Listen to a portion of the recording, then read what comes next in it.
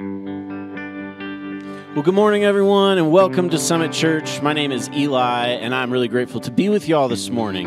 Um, so grateful for all of us who have chosen to be here, whether we're here in the room or here online. I know that um, you know we could choose to be anywhere, and we've chosen to be here, and I'm really grateful for every one of us that has chosen to do so.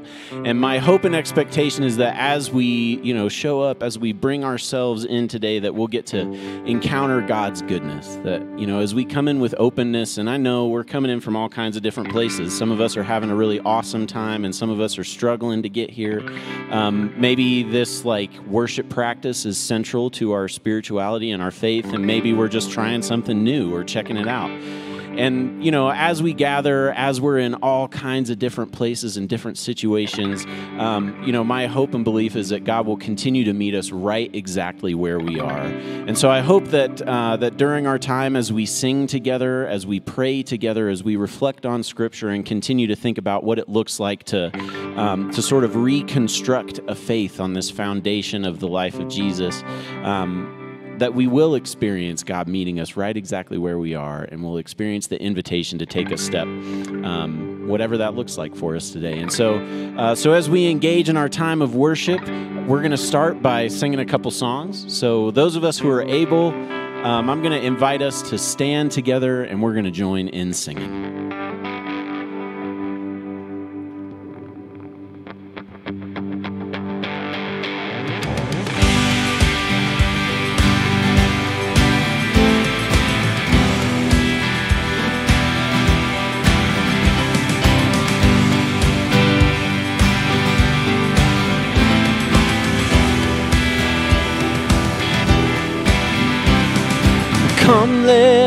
Worship our King.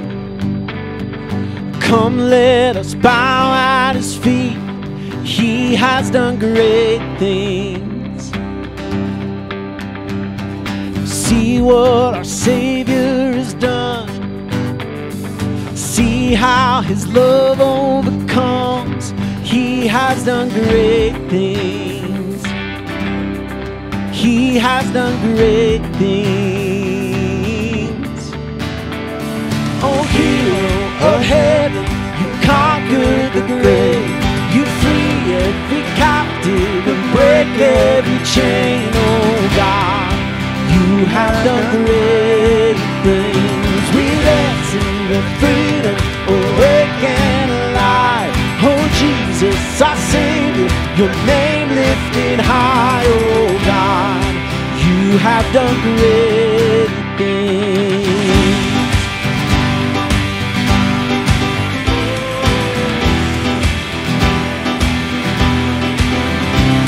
You've been faithful in every storm. You'll be faithful forevermore. You have done great things.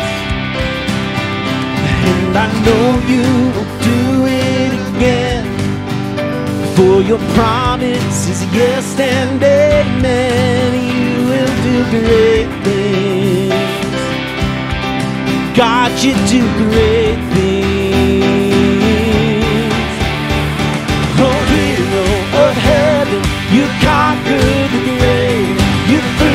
every captive, break every chain. Oh, God, you have done great things. We dance in your freedom, awake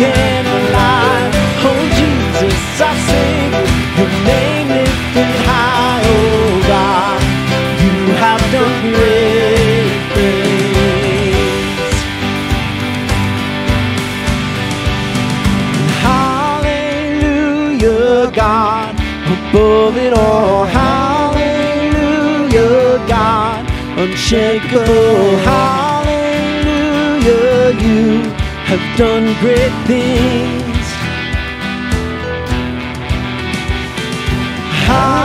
Hallelujah, God, above it all. Hallelujah, God, unshakable. Hallelujah, you have done great things.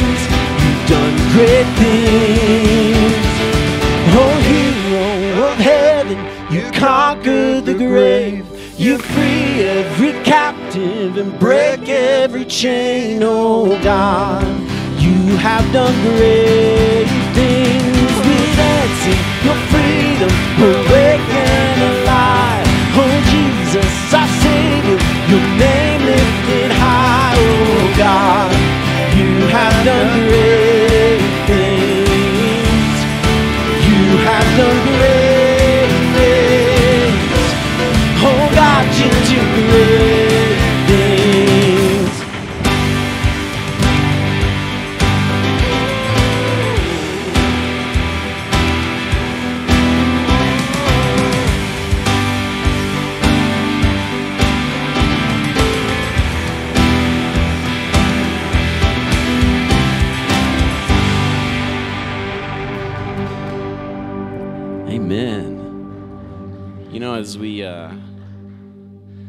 as we worship, as we gather, particularly as I think we're just kind of coming in and settling into the space and sort of orienting ourselves toward being present. I know for me, um, there are a lot of things that are distracting in life, a lot of things that can kind of pull my attention um, away from how I want to be oriented, and just taking a second to say, oh, yeah, um, I'm coming in to orient toward worshiping a God who does great things.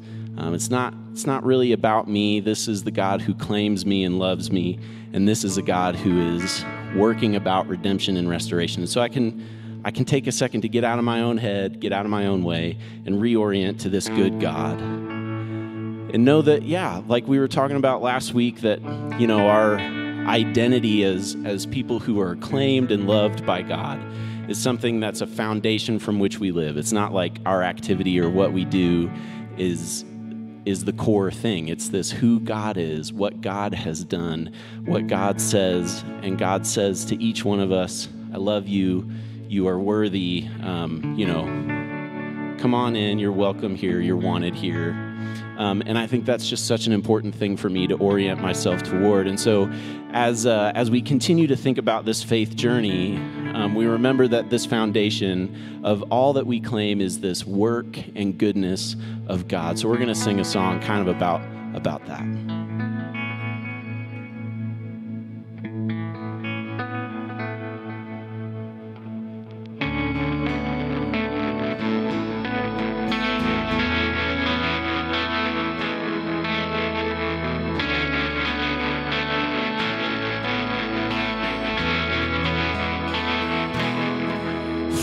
Before the dawn of light, you were everlasting life. As you sang the morning sky, Lord, you knew me. You had seen my truant heart. Still, you reached into my dark. Now, the blood of sacred scars stirs my soul to sing.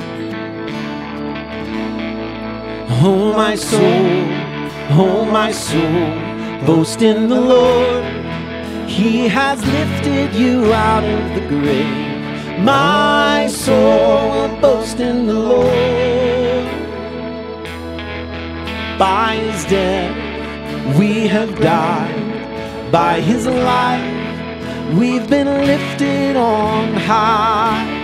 My soul will boast in the Lord.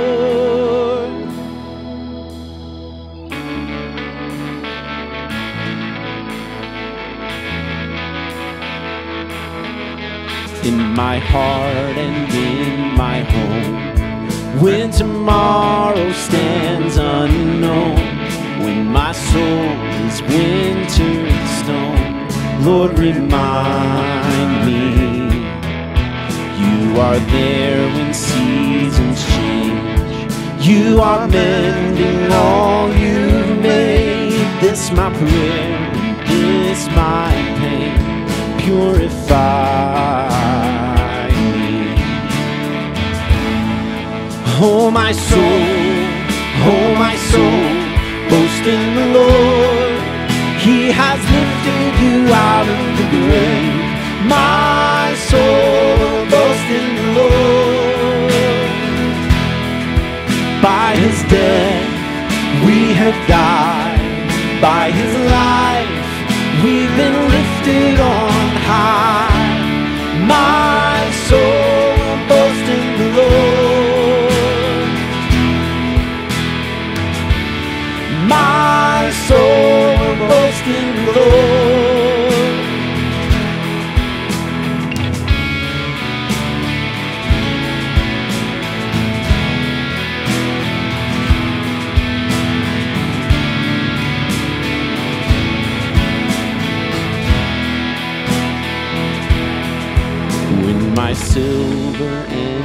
near, may my restless heart be still. In my fading strength and years, Lord, be near me. As my body enters rest, oh, my soul, resurrect. You have triumphed over death, glorious victory.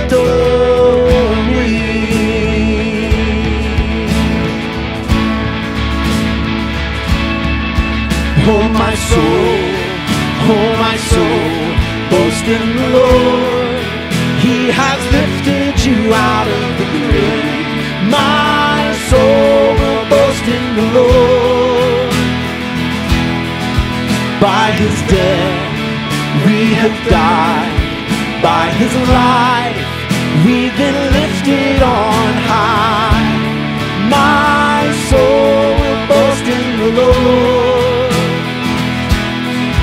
By his death we have died. By his life we've been lifted on high. My soul will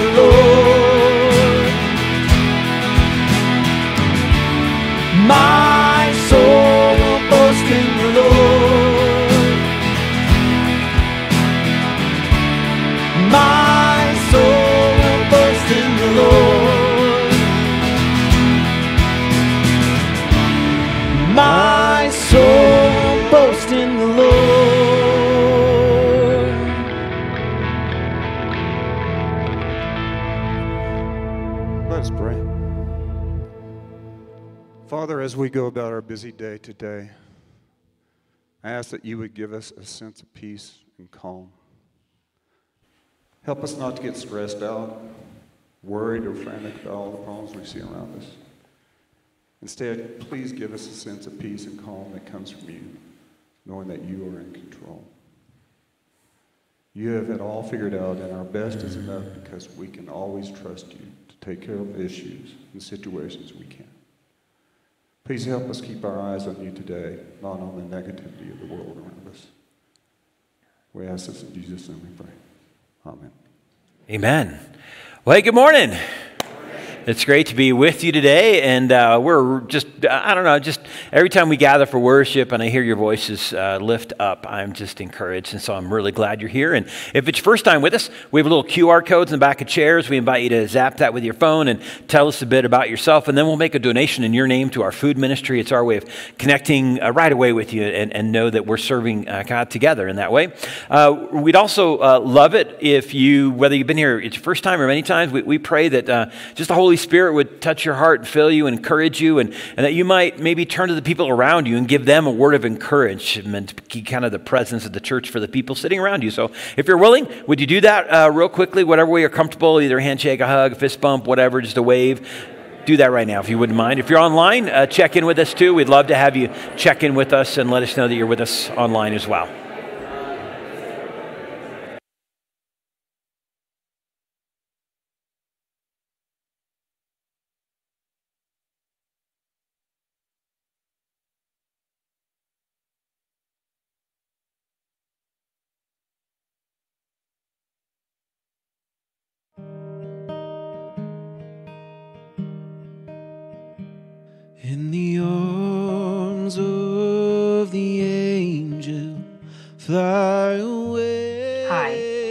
I'm Franco.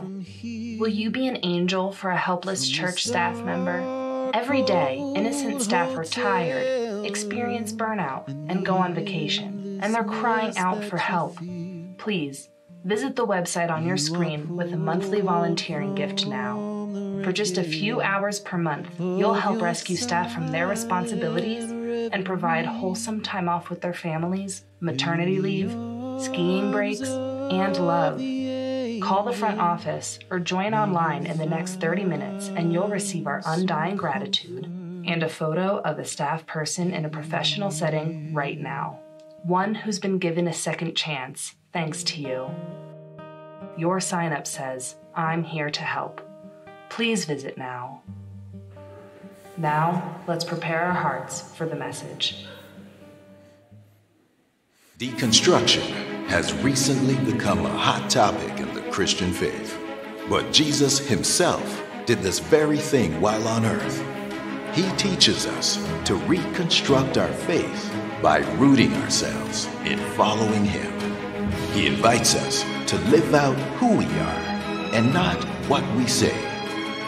This Lent, let's seek out a fresh vision from Christ that can deeply transform our lives. We'll experience God's love in such a way that we can confidently love God, love others, love ourselves, and share the good news.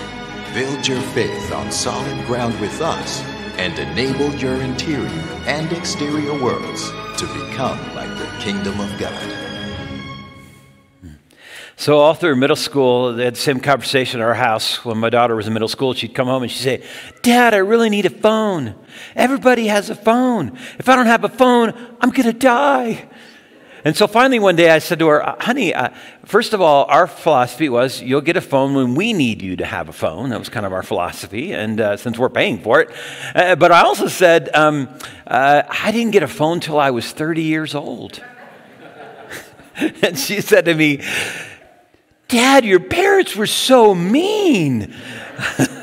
I can't believe grandma didn't get you a phone till you were 30. And I said, Well, honey, I, I didn't get a phone until I was 30 because they didn't have them, all right?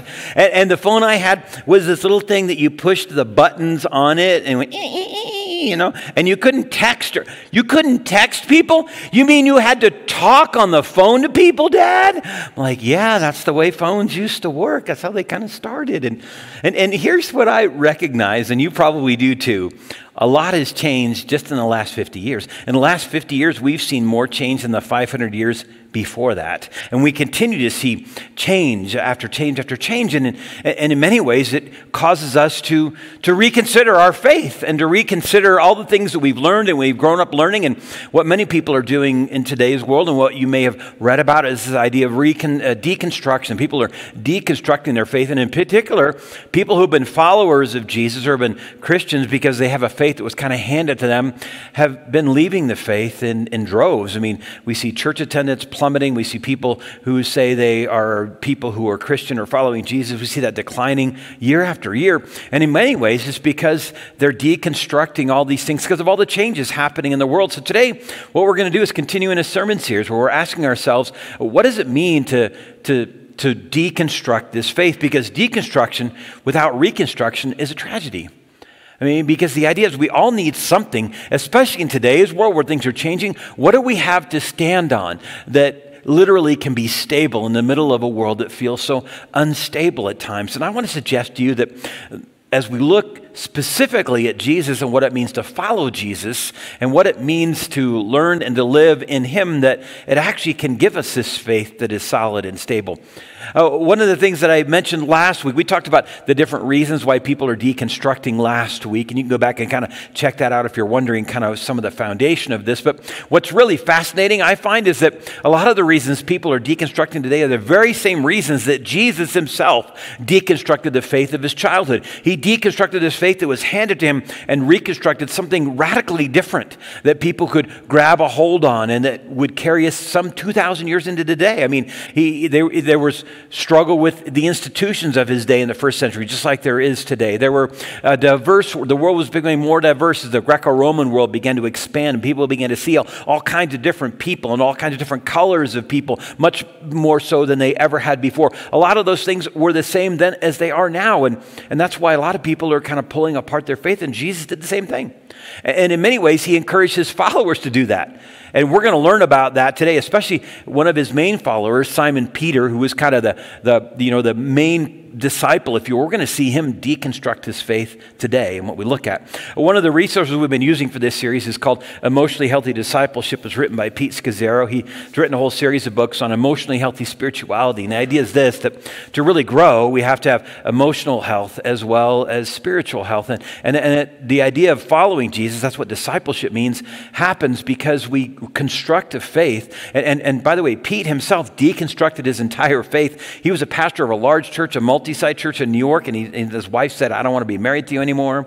I don't like the church anymore." I don't like, and, and they had to deconstruct and reconstruct their faith. And so we have those books if you're interested, because some of the stuff we're doing is based on that as well as uh, daily devotional that he has to go with it. But the first thing we talked about last week was that if we want to reconstruct a faith that's on solid ground, one of the things Jesus does is he literally puts being before doing. We're human beings, not human doings. And that's hard for us because many of us were raised to do things and, and many of us have to do lists. And we talked last week about how a lot of us put together a to do list, but we never pray before we do it. We just do stuff.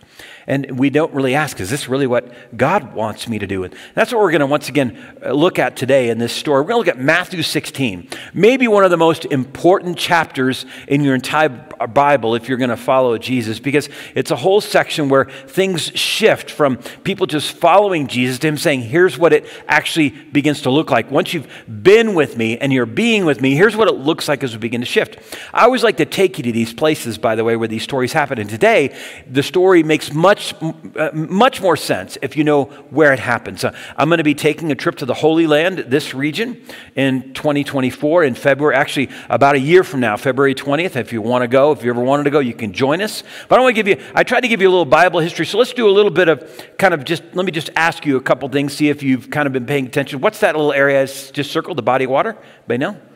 Sea, that's the Sea of Galilee, all right? The Jordan River comes down the middle. What's the area on the bottom? It's the lowest part lowest body water, it's the Dead Sea. On the left over there, that's the Mediterranean Sea. There's a little place, a circle on the right. Anybody know what that is? You don't need to because there's nothing there. I'm just kind of testing you a little bit to see. But we're going to go up north to Caesarea Philippi. It's about a day and a half journey, 25 miles. And from there, you can experience and be at the base of what's called Mount Hermon. At Mount Hermon looks like this from the Sea of Galilee. It's actually one of the largest mountains in the region. It's got snow on it almost all year long and we drove up right at the base of it, and when you drive at the base of it, one of the places you get to see and know is that they actually here in this region have a ski area.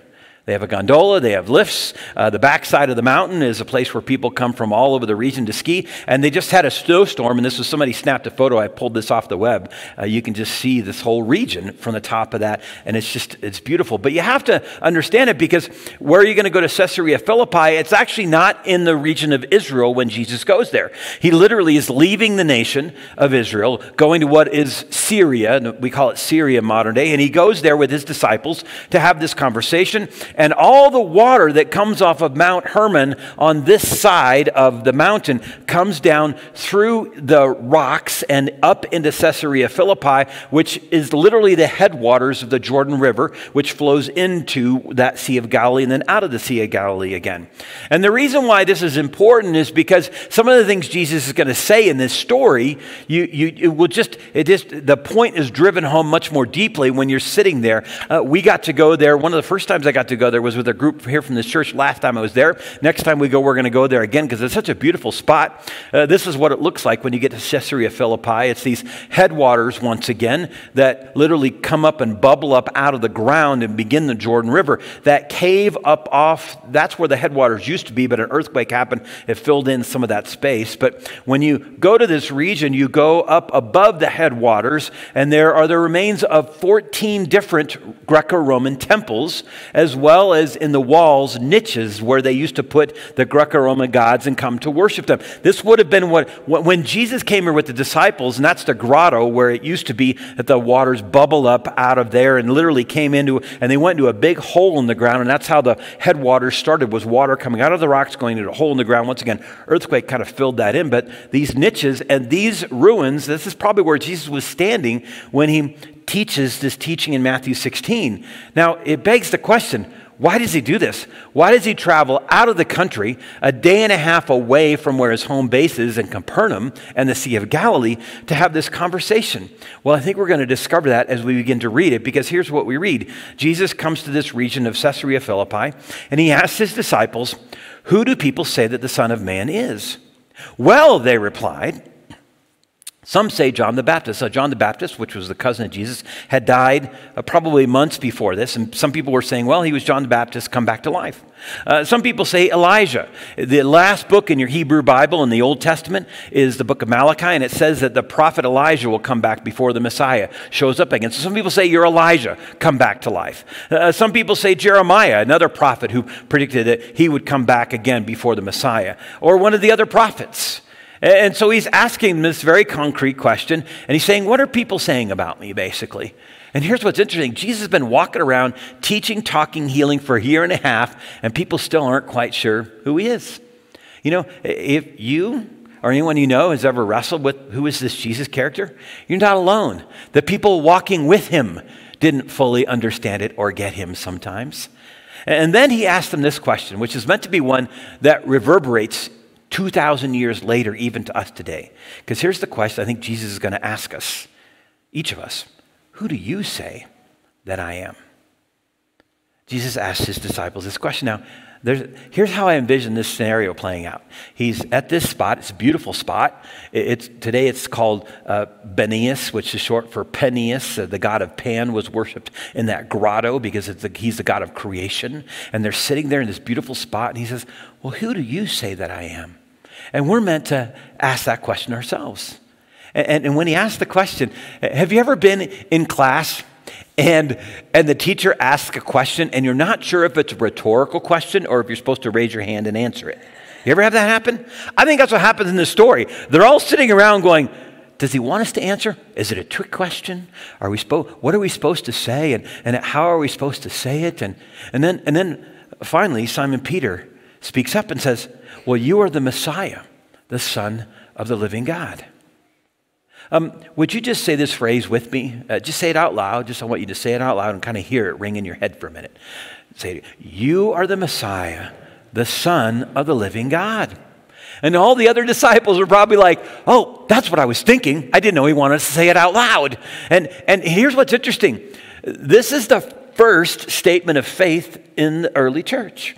You are the Messiah. Now, within the next couple of hundred years after his death and resurrection, we would talk about him as the way, the truth, and the life. Jesus as Lord and Savior. Jesus as our friend. Jesus, we would have all these other names, but this is how it kind of begins with this name. You are the Messiah, the Son of the living God. And, and the word Messiah is really important here. It comes from a Hebrew word, Mashiach, and the Latin is Christos. That's the Latin, you know, we often say Jesus Christ. Christ is not Jesus' last name.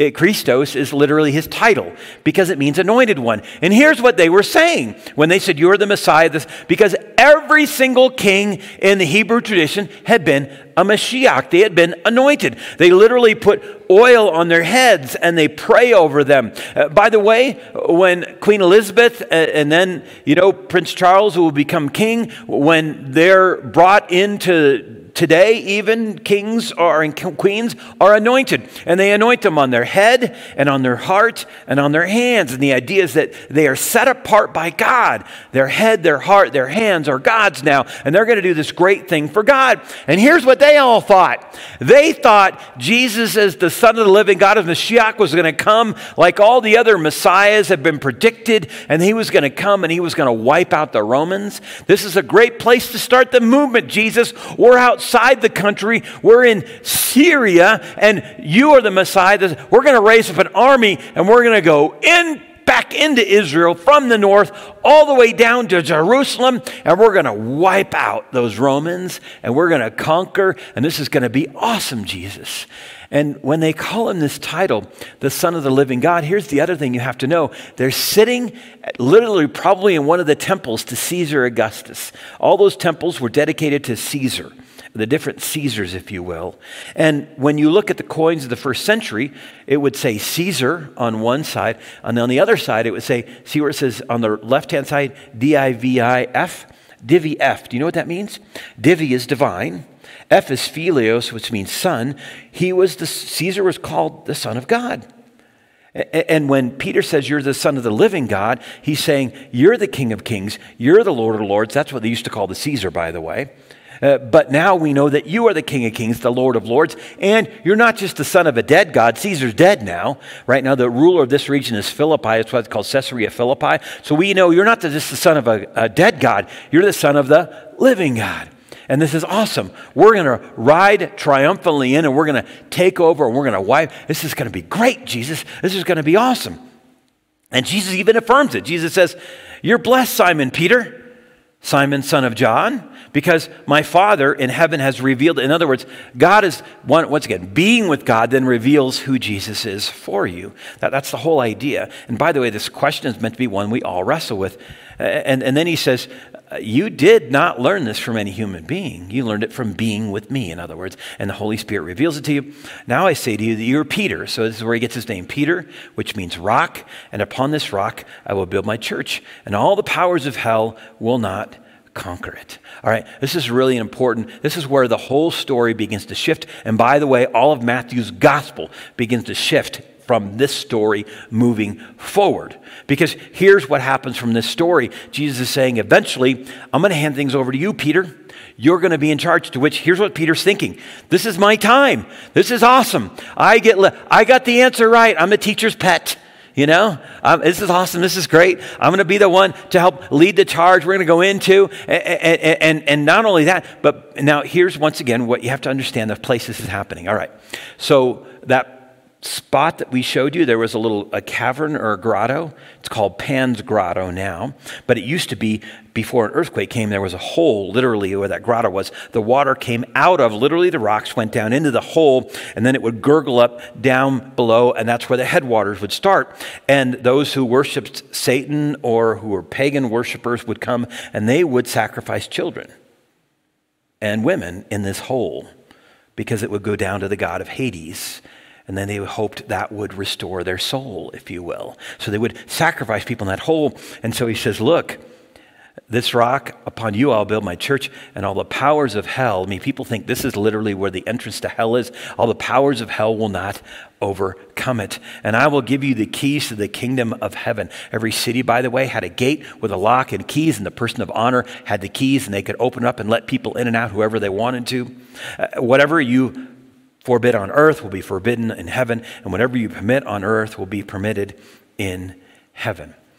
All right, here's a really important part of this for us because you and I are now the church. Uh, Peter is the one upon whom the church will be built, but you, and here's the important thing it's not Peter's church, it's not your church, it's not my church. It's God's church. People say to me sometimes, uh, Pastor Jeff, your church is, and I'm like, oh, let's stop there for a minute. It's not mine. You don't come here to worship Jeff. Uh, and, and by the way, our temptation is to make it about us, and I want to be in charge. That's what Peter's going to try to do, but this is Jesus' church. This is God's church. Uh, uh Peter would later write, you know, after the death and resurrection, when Peter is forming the church, he would write several letters. And in one of them, in 1 Peter 2, he'd say, You are coming to Christ, you who are the people, who is the living cornerstone of God's temple. There's this idea of, of a rock, of something to build something solid on. He was rejected by people, but he was chosen by God for great honor. And you are the living stones that God is building into his spiritual temple. What's more, you are his holy priests, though through the mediation of Jesus Christ, you offer spiritual sacrifices that please God. When we did a big remodel here, we had those of you who gave to this to make sure we could have, you know, that atrium that you walk in, our infant center, a lot of the places that you all are enjoying now was built in about 2004. This whole building was built in 1970, but we did a huge remodel. And what we did was we had each of you come in uh, during worship and we gave you stones and you painted your name on it or drew your name on it. And we have a stone garden. We have a, the living stones are right out in front of it. They're covered by snow right now, but they're right out in front of the office area. And those are there to remind us that we are the living stones. And so here's the idea that when when, when, when God wants to deal with something happening in the world that's evil or wrong or, you know, just horrible thing, He doesn't typically send angels from heaven. He doesn't typically uh, do some miraculous thing where He suspends the laws of nature. He sends the church. You and I, because not even the gates of hell, not even the gates of hell will overcome it. It's called the ecclesia, the gathering. And by the way, that was just a generic term, church, a gathering of like minded people that came to do the work of the one who founded it. And the one who founded it was Jesus. So here's the question we're meant to ask that, by the way, comes out of first being with Jesus. Then we ask this question What does Jesus need us to do as his church? What does He want us to do? I want to suggest to you that one of the reasons many of us struggle with purpose and meaning is we're trying to figure all out on our own instead of being with God, being with Jesus first, and then saying, What do you want me to do? Because then all the powers of hell will not conquer it. All the powers of hell. And once again, here's that grotto that used to be where people were sacrificed. And Jesus says, and this is so important to know what's happening in this place, in this space, when Jesus comes here to do this teaching. He says, This may seem like the entrance to hell, but let me just tell you the powers of hell, not even this place, nothing that you see here, will keep us from doing what it is God wants to do in the world because we are the church. But the question is, are we doing what God wants us to do or we want to do? I want to suggest to you one of the reasons many people are deconstructing their faith today is because we're doing what we want to do not necessarily what God wants us to do. We think, you know, we, we attach God's names to things all the time I think God wants his name attached to. We do it all the time. And the reason we do that is because we just do instead of be first. And then we say, Jesus, what do you, we get up in the morning, we say, God, what do you want me to do? It's interesting. Um, Jesus then gives what we call the mysterious Messiah um, statement, all right? Uh, then Jesus sternly warned his disciples, don't tell anyone he was Messiah. Now, this is weird, isn't it? Like, what, do you mean? Don't tell people. Jesus, we want people to know you're the kingdom Messiah. We need to raise up an army. And Jesus says, that's not how it's going to work. See, everything's going to flip in the next sentence Jesus is going to say. But here's the other reason he says it this way. I say this, this is how I put it to you all the time. I can't give you faith. You can't have my faith. It has to be yours. Here's the thing. You have to wrestle with this question when Jesus says, Who am I? Who do you say that I am? You have to wrestle with that question. And what he want, he doesn't want the disciples to go out and tell everybody this is what you need to do and how you need to do it. He wants them to have a relationship with him, to be with him, and then out of that they can figure out their doing. And when they go to figure that out, by the way, here's where he's going to give us a guide to what that looks like, by the way.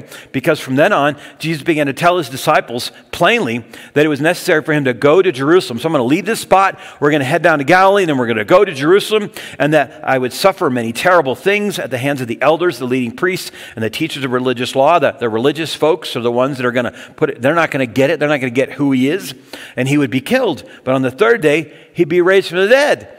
And now, this is kind of a whole killjoy moment, right? For Peter, he's like, Yes, I'm going to be the leader. And then it's like, What?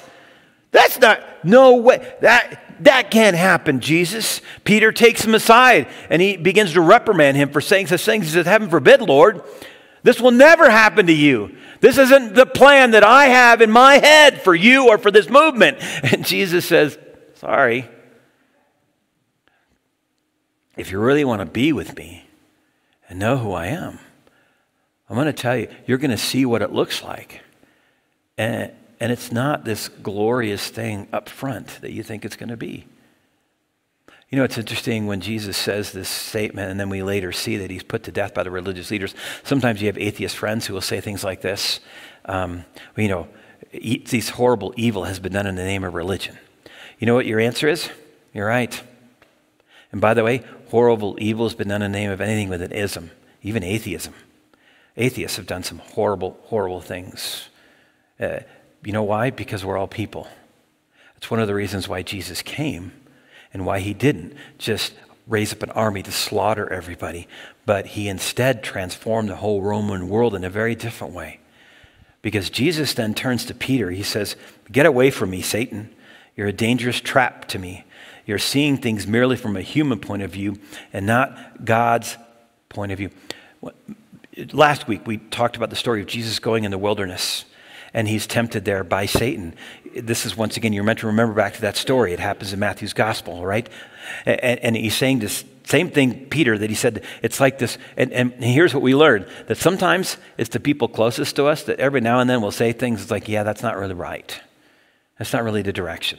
And unless we're being with Jesus, really spending time in prayer with Jesus, saying, Jesus, what do you want me to do? Unless we're listening to that voice, we can get distracted. And here's what he's saying You're trying to distract me and get me to do what you want me to do. But God has a different plan. Jesus said to his disciples, If any of you want to be my follower, you must give up your own way, take up your cross, and follow me. And I can tell you at this point, remember, Jesus has not been crucified and he hasn't been resurrected. So you know what the cross means? It means torture, pain, hurt, it means the most awful way of death possible. And so I can guarantee you, they're all sitting there going, What? What? That, that can't be right, Jesus. Let, let's, hey, can we give you a different answer to start telling everybody? Because that's not the right one. But Jesus says, No, no, this is what it means. And it's going to change everything. You see, there are three things Jesus is going to talk about from here on out. He's going to talk about self denial, which is not very much fun, right? I mean, who wants to deny ourselves? I, we, we live in a world where we want to have pleasure. We want, to, we want everything, we want our kids, everything to be perfect for our kids. One of the reasons many people are deconstructing their faith is because they've grown up in a world where everything's been kind of easy. And they're like, is this all there is? Is this it? I mean, part of what develops our character and who we are, makes life meaningful, is having to work through hard stuff, developing some resiliency. That only happens when you're willing to deny yourself sometimes and not always give ourselves what we want. we kind of live in a culture that says, take whatever you want, get what, have it all be good. And he's also going to talk about sacrifice. Not another thing we like to talk about. Like, to talk about here's how you want to find meaning and purpose. You want to find, uh, you, want you want to find what it means to really follow me. And then he says, and that means following me, meaning these things all go together. If you really want to follow me, you have to learn about self denial, about sacrifice, about what it means to do these things. Because he says this if you hang on to your life, you will lose it. But if you give up your life for my sake, you'll save it. I was reading this week another article about how we continue to see just almost exponential growth in people wrestling with things like uh, suicide, depression, anxiety, and there's lots of different reasons. And sometimes we need a good counselor. Sometimes we need, uh, you know, medicine because our body chemistry gets out of whack. But, but often what they're discovering is many people don't have a sense of purpose. And a lot of times it's because we're doing what we think we want to do for me. I want this, I this, I that. And Jesus says it's not where you find meaning and purpose. You, you know, because if you hang on to your life, you try to grab onto it. I mean, if you really want a faith built on a rock, if you want to reconstruct a faith, Jesus says, that will carry you through, uh, uh, you need to reconstruct a faith on one that recognizing that giving away is what brings life. And you know this is true. Think about the moments that have brought you the most joy. Oftentimes, it's because you're doing something for someone else, and it makes your heart and your soul begin to smile and go, Oh, yeah, wow. And, and, and here is kind of our memory verse for the week. Would you just say this together with me out loud? Because this is what this is the whole point he's trying to make. And what do you benefit if you gain the whole world but lose your soul? Is anything worth more than your soul? Okay. This is where you need to know where this story happens. It happens in front of a grotto that is a place at that point, there hadn't been the earthquake yet. There was a hole and all the water's running into the hole, and people would sacrifice children and women into the hole in order for their soul to be restored. And Jesus is saying, that's not how it works. That's not, here's how it works it works when you're willing to give yourself away. This last week, um, I was uh, interacting with one of my former uh, youth that was in one of the churches I served uh, years ago, and, and, and I had seen on her Facebook stuff that there was some medical things she was going through. And what I didn't know, I, I she, she reached out to me because she said, I'm back in a church again for the first time in, you know, really since I was in youth group. And, and this is a young woman whose mom was on our staff and who was a, one of the leaders in our group, but had kind of left and deconstructed her faith. And, and now she was back and, and she began to tell me her story. She said, I, I, uh, My pancreas failed because of genetics, and I, and I got an organ transplant. And she began to talk about how important organ transplant had been to her and, and how grateful she was. There was a young person who had checked that box on their driver's license, and she received that gift, and she met their family and heard about sacrifice and what that was. And her family had prayed that whoever got this, it would be a gift and the sacrifice of their son. And can I, first of all, just a little sidebar check the box. Ultimate sacrifice is, well, it's not really a sacrifice. You don't need the organs when you're gone, okay? But, but what an amazing, and, and I was thinking about this story about sacrifice, self denial. And she said, and I realized if I want to find purpose and meaning, because now I have a new lease, I, I need to be back in the living stones and figure that out. Uh, I was thinking about some of you who give up vacation, your money, your finances to go to. We have a group we're going to bless to go to Kenya um, it's an all women group that we're setting for the first time. It's really, I'm really excited to see what happens as they go and they work with the widows and the women in the place called Obaga. But many of them are giving up, they're giving up a lot just to go. We have a staff person going, giving up weeks of vacation to go. All right? Uh, why do you do that? because you realize that's where you find meaning and purpose. Some of you, you know, we had that cute little thing that Stacy made about uh, volunteering. You know, you give up your time, your, your talent, you give up those things, and then that's how you find your soul. I was reading this last week about this group, the Traveling Rescue Rigs, uh, also called uh, the Heroes. Uh, it started in 2017. Uh, uh, there was a gentleman um, that realized in the middle of the hurricane remnant that had happened in uh, Houston that his rig could drive through some of these places, and they literally saved thousands of people. And he called his buddies, and now they literally show up at any natural disaster all over. And this last week, they were in places where there were ice storms and snowstorms, and they show up. And I was reading about their story, and here's what I found interesting. they can't get insurance anymore for their trucks.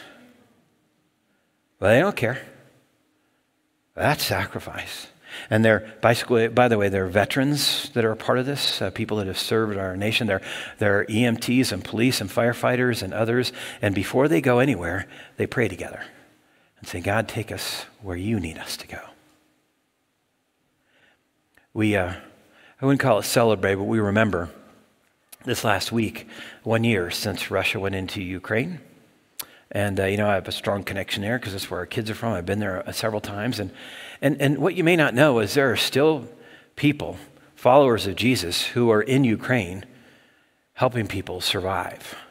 And I was reading this last week or seeing this last week about a group of them that are young people. Uh, YWAM is called Youth with a Mission, and they're typically sent in to start churches and do things, but many of them were there when this war started, and they're still there. We have several of our youth, by the way, that are training to go serve with YWAM in different parts of the world. But I wanted you to see their story a bit because I thought this is what it means to self deny, to sacrifice, and to, and to follow Jesus. Let's take a listen. Wow. Jeffine and Marie sprung into action turning, turning the sprawling YWAM campus, campus into, into a, humanitarian, humanitarian aid, aid hub. hub. And, and they're, just, they're dropping, dropping all of all these things, things here. here. So, so our, job job is to um, um, sort, all these things out. out. So it, so looks, it looks chaotic. chaotic. Natalia, Natalia Turbina and her two sons, sons work in the kitchen, kitchen making, making meals for the folks in the neighborhood. It depends on the day. Sometimes there are days when we cook for a thousand people, sometimes 500 or 600. The only thought that gave me peace was to go back to Ukraine. So that's, so that's why I'm here. Katarina, also a YWAM missionary here, is from Finland. I'm not saying that God was the one who forced me to go to the war zone or that, or that it was somehow, somehow like, like I, couldn't have, I didn't, I didn't have, a choice. I had, I had a choice. That was my choice. My choice was to come here and God opened the door. Uh-huh, uh-huh, she evacuated just before war started, but returned days later. Wait, we're walking up across flights of stairs? Now, now Katerina hits the streets of Kiev delivering food and other aid supplies to those unable to leave their apartments. Each visit ending with time of prayer. That's okay, I don't know Ukrainian either. While, While Katerina, Katerina makes her daily deliveries, David Selsky, who normally handles maintenance on the YWAM campus, is making dangerous missions to evacuate people trapped behind Russian lines. Every time when I go to these areas, I prepare myself that I might not get out of there. I pray every time. I'm not counting, but I've evacuated more than 100 people. I just work and work as long as I can and, and as, long as, God, God allows, allows me to help. help. For Jafid, Marie, and others at YWAM, ministering in Ukraine's war zone is ultimately about fulfilling a commitment to serve. I think, I think it's, it's, not, so much about handing out food packages, packages now, or like, like cooking, cooking meals, or like, or like distributing, distributing some, some humanitarian aid. That is, that not, is the main thing that God has been preparing me for, because everybody can do that. But the hard thing to do is to do it while you hear shelling bombs.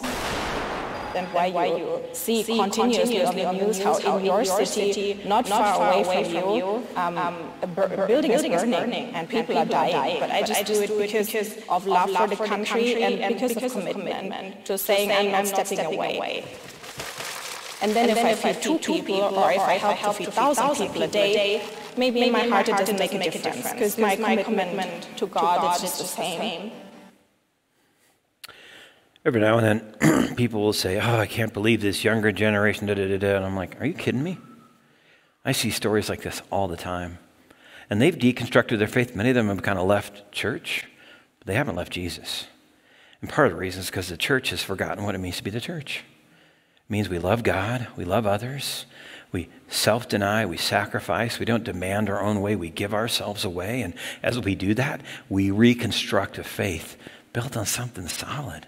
Because that's what we all want, so that we can restore our soul. That's what God longs to do. And by the way, Jesus came and did all that work for us. All we have to do is say yes. Say, yes, you are the Messiah, the Son of the living God. We receive that gift, and then we listen and we pray. And every morning we get up and say, God, what do you want me to do today? Before I make my list, where do you want me to go? Doing that is how you reconstruct your faith. Would you bow your heads and let's pray together? Uh, some of us who are sitting here, maybe we've never really wrestled with this question Jesus puts before us, where he says, Who do you say that I am? And so just pause for a minute in the silence and. Uh, Maybe answer that question in your heart right now. It, and it might be different than it was years ago. Maybe it'll be different in the future, but at least for right now, when Jesus asks you, Who do you say that I am? What's your answer? Is it you're the Messiah, the Son of the living God, a Savior, friend? Maybe just take a minute in the quiet and lift that up to God.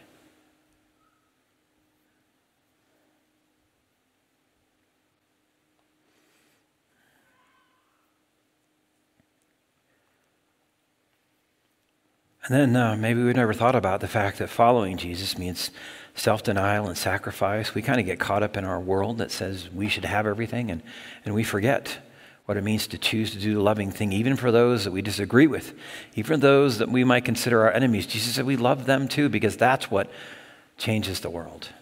That's what helps the world become more like my kingdom. So maybe think about some places in your life where God might be calling you to sacrifice or self deny or do something a bit different so that you might discover your soul. Maybe just take a minute and invite God to speak to you around that.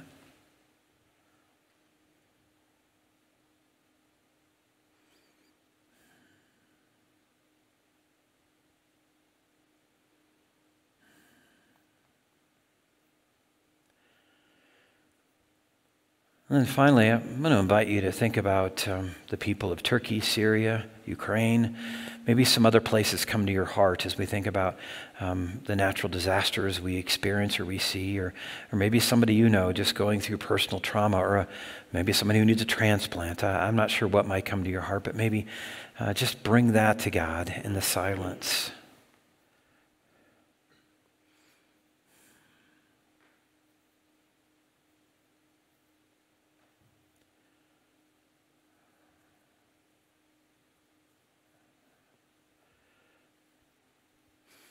God, we thank you for coming and meeting us here, for giving us the opportunity, for encouraging us to ask questions. You asked us questions so we might wrestle with them. So, God, we thank you for asking, Who are you? And help us as we wrestle that to come to understand you as the Messiah, the Son of the living God. And, and may that, may that, may that de- help us develop a relationship with you that might go deep and we might hold on to that. And then out of that, we might go forward and be the people you long for us to be. Uh, God, you have hopes, dreams for all of us, desires for your people. This place is your living stones. Help us to live that out as your church, God. Thank you for this story and for where it happened and for reminding us in a very tangible and powerful way that we can be your presence in the world as we follow you. God, we ask and we pray all these things in the name of your Son, Jesus. And the people of God said, Amen. I invite you to come and respond by just lifting your voices to God. If you're willing, would you just sing and let's sing about what this faith might mean to us?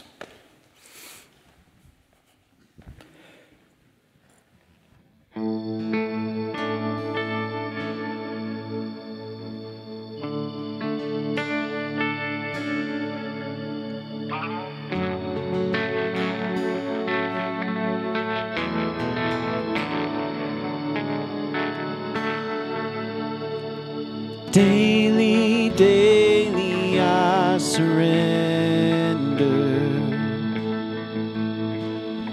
Grace for today is all that I need. Surprised by your mercy, it's new every morning. Awaken my soul to sing. Awaken my soul to sing. I will trust where you lead. I will trust when I can't see. Morning by morning, great is your faithfulness to me. Breath by breath, overtaken by wonder. One step at a time when I'm overwhelmed. Strength for today, bright hope for tomorrow. Awaken my soul to sing. Awaken my soul to sing, and I will trust trust when I can't see. Morning by morning, great is your faithfulness to me, and I will trust with all my heart. You are good, you always are. Morning by morning, great is your faithfulness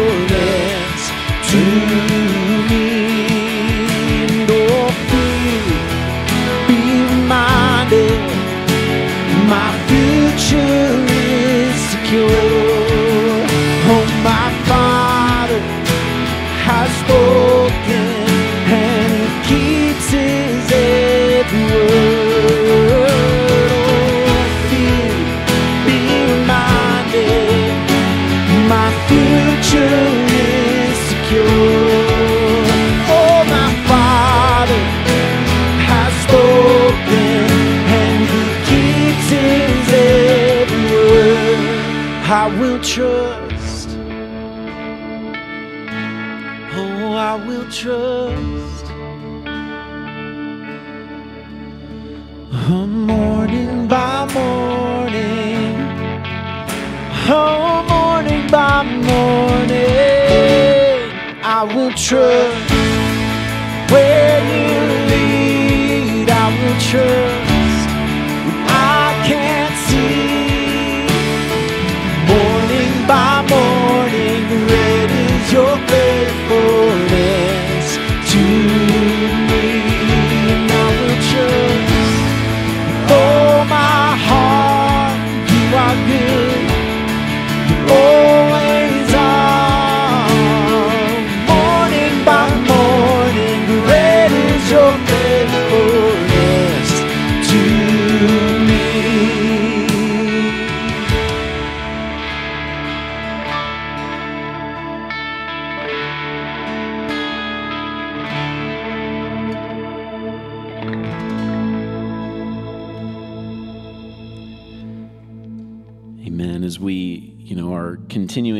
journey of you know, considering what it is to follow, um, to follow God, to follow Jesus. Uh, you know, we can place our trust in this God who goes before us and is with us in all things. And one of the things that I just need to be reminded of is that, you know, every every breath is a gift. Um, and every breath is a gift of life. Uh, but as as we understand it in our journey of faith, it's it's more than just life. That's an amazing gift in and of itself. But it's also this: um, each breath is an opportunity for fresh life, for new life, for continuing to be raised up and empowered to follow this path of of restoration and redemption, to to continue to participate in this restorative work that God has. And so we're going to sing one more song where we're remembering that this work of God, this restorative God, is someone who invites us into this story, invites us into this journey where we can say, you know, we have these moments, and every breath we receive is a time where we can say, you know what? My life is beginning anew again. So, we're going to sing a song uh, that kind of keeps us in that vein.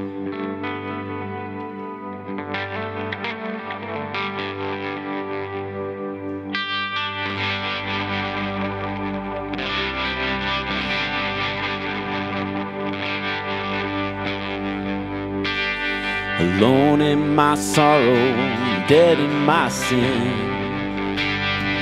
Lost without hope, with no place to begin. Your love made a way to let mercy come in. When death was arrested, my life began. Ash was redeemed, only beauty remained. My orphan heart was given a name. My mourning grew quiet, my feet rose to dance. When death was arrested, my life began. Oh, your grace, so free, washes over me. You have made new now life begins with you. It's your endless love pouring down on us. You have made us new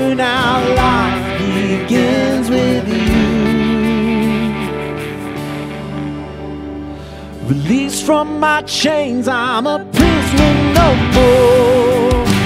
My shame was a ransom he faithfully bore. He canceled my debt and he called me his friend.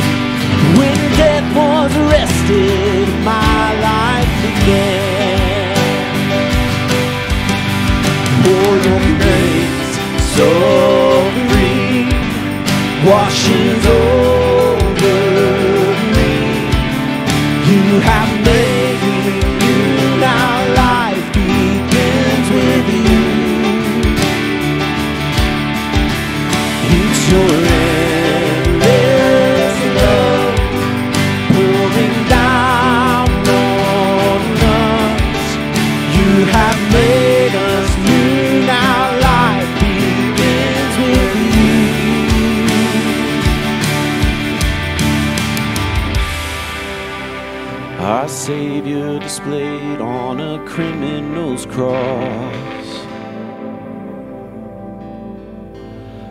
Darkness rejoiced as though heaven had lost. But then Jesus rose with our freedom in hand. That's when death was arrested and my life began. Oh, your grace so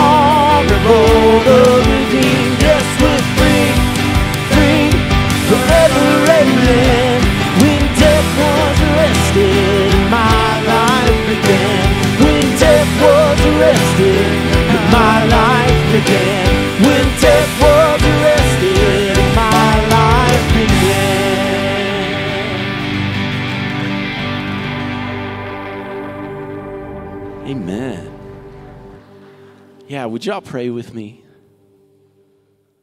Lord God, we are so grateful that you are a loving and generous God who gives the gift of life, who gives the gift of new life and full life.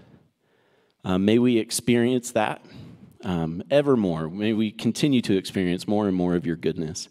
Um, as you pour that into us, may we be shaped into the likeness of Christ and empowered and sent to participate in your restorative work in the world. Fill us up with your love and send us to be your loving presence to one another.